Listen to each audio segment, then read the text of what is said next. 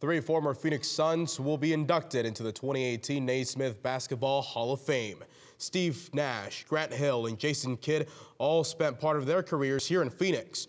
Nash was inducted into the Phoenix Suns Ring of Honor in October 2015 and won two MVP awards while in the Valley.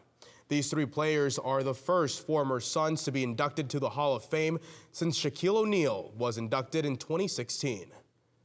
Opening day for Major League Baseball is swinging across the nation and here in Arizona today. Chase Field features a new addition to the ballpark that fans will never see, but could have a significant impact on the game. Cronkite News reporter Blaine McCormick is just a few blocks away from our Cronkite News studios at Chase Field with more. Blaine?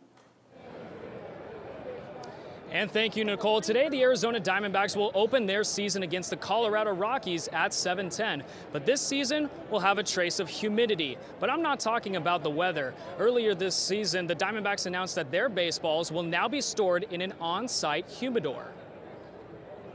You can definitely tell a difference in the ball, and I'm sure, you know, scientifically speaking, there are some advantages, and it does slow the ball down a little bit. But um, when you're facing the Rockies, when you're facing the D-backs, at both places, you know, you got to make good pitches. In the 20 seasons since the Diamondbacks entered Major League Baseball in 1998, Chase Field has seen an average of 170 home runs per season per baseball reference, fifth among the 15 teams in the National League. Dr. Alan Nathan, a physics professor emeritus at the University of Illinois and one of the leading experts on humidors in baseball, says the new equipment at Chase is all about reducing the bounciness of the ball or in scientific terms, the coefficient of restitution. That coefficient of restitution plays an important role in the collision between the ball and the bat. The larger it is, the faster the ball comes off the bat. Imagine hitting a super ball?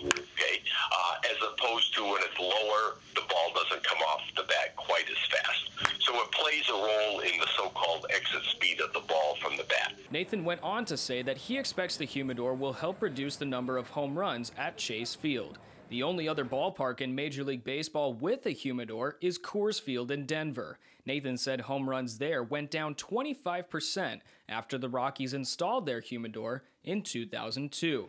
Diamondbacks first baseman Paul Goldschmidt said the fact baseballs at Chase now will come out of a humidor will not affect his approach at the plate. As a player, you know, all that's out of your control. You're just trying to see the ball hit the ball, and, you know, if it goes out or if it gets in the gap or it's a hit, then great. And if they catch it, then that's fine. I don't think anyone's going to be changing, you know, what they do. If it affects it, it's going to affect it for both teams. Now, even though this is the first regular season contest where the Diamondbacks will be using the baseballs, they used them in a couple of exhibition matches earlier this week. Live at Chase Field, Blaine McCormick, Cronkite News.